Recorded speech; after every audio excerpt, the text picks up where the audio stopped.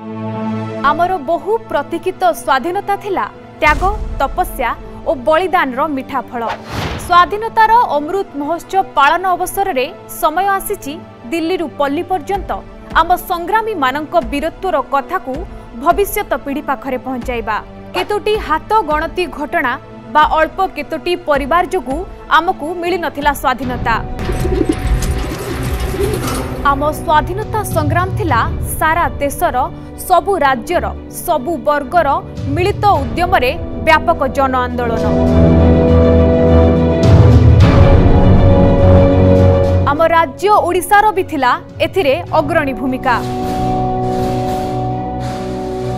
ମହାନ ଯୋଦ୍ଧା ବୀର ସୁରେନ୍ଦ୍ର ସାଏଙ୍କ ସଂଘର୍ଷ ସର୍ବଜନ ବିଦିତ ଅମୃତ ସନ୍ଦେଶର ଚଳିତ ଅଧ୍ୟାୟରେ ଆମେ ଦେଖାଇବୁ ସୁରେନ୍ଦ୍ର ସାଏଙ୍କ ସଂଗ୍ରାମୀ ସହଯୋଗୀ ଭଟଲି ବ୍ଲକ ଖରସଲ ଜମିଦାର ଦିୱାଲ ସିଂଙ୍କ କାହାଣୀ ଏହାସହ ଭଦ୍ରକ ଓ ଯାଜପୁରର ଦୁଇ ବାନର ସେନା ଆକୁଳି ଚରଣ ମେକାପ ଏବଂ ଶଶିଭୂଷଣ ଦାସଙ୍କ ବାଳକ ଅବସ୍ଥାରୁ ସଂଗ୍ରାମରେ ଝାସ ଦେବାର କାହାଣୀ ଅମୃତ ସନ୍ଦେଶରେ ଶନିବାର ଅପରାହ୍ନ ପାଞ୍ଚଟା ତିରିଶ ଓ ରବିବାର ସକାଳ ଦଶଟା ତିରିଶରେ